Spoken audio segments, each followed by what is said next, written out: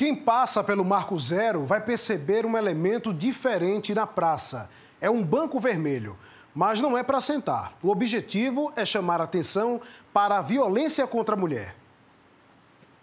Até hoje, este homem que não quis se identificar convive com a dor do assassinato da diretora financeira Gisele Kelly Tavares dos Santos. Ela foi encontrada morta, nua, com a marca de tiro na cabeça, dentro de um apartamento.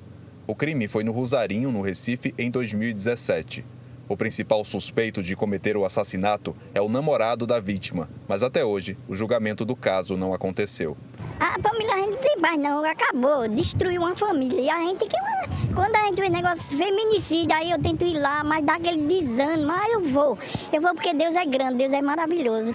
E Deus vai, no dia vai mostrar a justiça dele. Casos como o de Gisele ainda acontecem com muita frequência. De acordo com o Fórum Brasileiro de Segurança Pública, no ano passado foram registrados mais de 1.400 feminicídios no Brasil.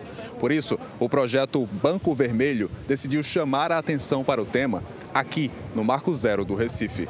Um banco foi colocado no Marco Zero para que as pessoas possam refletir sobre o tema.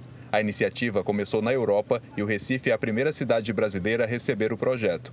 A capital pernambucana foi escolhida depois que a Patrícia Vanderlei morreu quando o carro onde estava com o ex-marido bateu em uma árvore na Boa Vista, em Recife. Segundo a polícia, o ex-marido provocou a batida para matar Patrícia.